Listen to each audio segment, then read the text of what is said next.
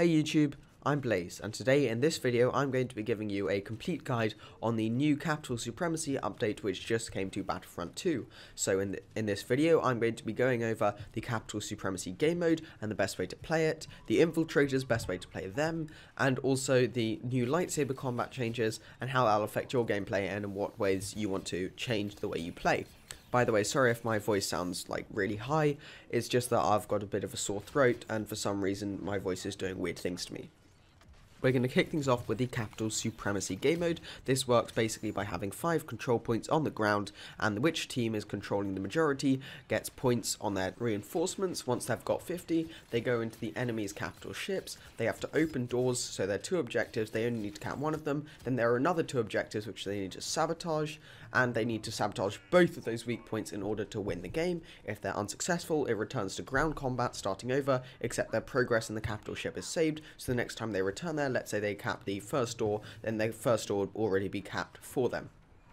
This is actually allowing of really strong comebacks so an enemy team can attack you twice in a row let's say get you down to your last objective but then you just manage to push them back and you can immediately attack their ship and you might even get it first try or when you return to the ground again you'll be able to have another go at it and you can actually make a huge comeback from the other team stomping you. The games could be shorter, I think everyone agrees on that, and I also think that the objectives in the capital ships are a bit linear, a bit more like Galactic Assault, which is a shame because we wanted something which was a lot more conquest-like. However, overall it is a very strong and very fun game mode, and I'm going to give you some quick tips about how to do well in that. The first and probably most important tip I can give you is that don't forget to defend particularly point E, which is the one in the middle of the map, because that objective gets attacked very quickly, but what I see a lot of teams doing is they run to cap one objective, then they quickly move on to the next one to cap, and they leave the one behind them completely exposed and the other team takes it back, so it becomes a running simulator between teams as opposed to an actual fight.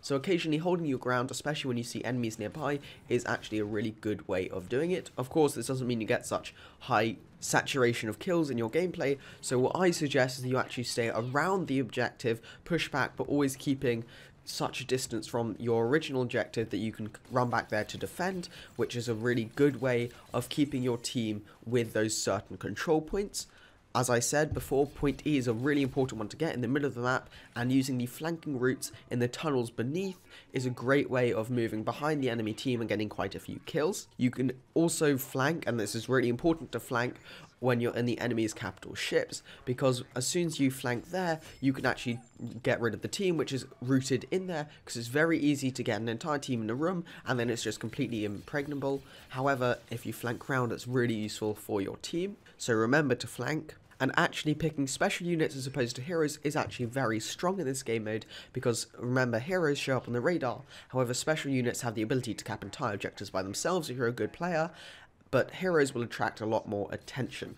for the infiltrators. Next week by the way i will be releasing an infiltrator ultimate guide so make sure to subscribe for that. And for that reason i won't go too in depth in this video. I'm just going to quickly say that arc troopers need a nerf commando droids need a slight buff to their weapon and the way you should be playing them is with the arc troopers you can play really defensively or get around in flanks. However taking enemies head on if they're more than three or four enemies is risky although you can actually do it because the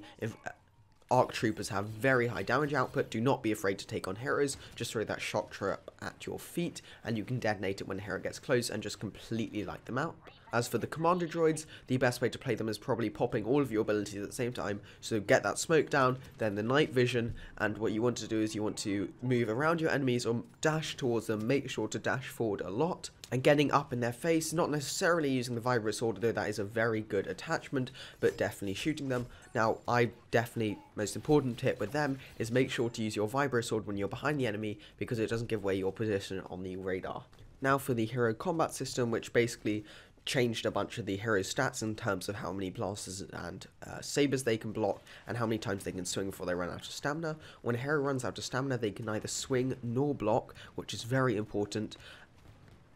and there is no stagger when you attack someone, so if you're blocking and someone attacks you, do not expect to just be able to swing freely after that, because the other team will probably end up trading blows with you, so, you know, that doesn't work so well. What I recommend is as soon as you block something, dash, then slash, and then also if you're attacking someone, try and dash around them, take a quick slash and then dash again. As soon as you run out of stamina, try and pace it out on your abilities. So let's say you're Dooku and you run out of stamina, just use your lightning stun against the heroes about to attack you. Also, when you knock someone over, they cannot block and they can't shoot or anything. So when you knock someone over, they're completely incapacitated, which means that actually knocking people down, let's say Dooku, and then immediately attacking them is a great way to do it. And a lot of the time, as soon as you get in one hit, you can usually follow up with the second without any consequences. So make sure if you tap that button once, you might as well tap it twice and get double the damage in there and don't forget to dash, just dash a lot basically, and you should be pretty good in this update. Um, I know this is a particularly brief video, but I have to round it off here. I'm actually double recording today because I'm going away next week, so I'm sorry if this seems a bit rushed. Uh, I tried to put a lot in it, however make sure to stay tuned for that Ultimate Infiltrator Guide, because that is going to be the big bombshell in terms of information that you need and want. I think that's going to do it for this video. Make sure to subscribe, leave a comment, like the video, hit that bell, all of that good stuff. Bye.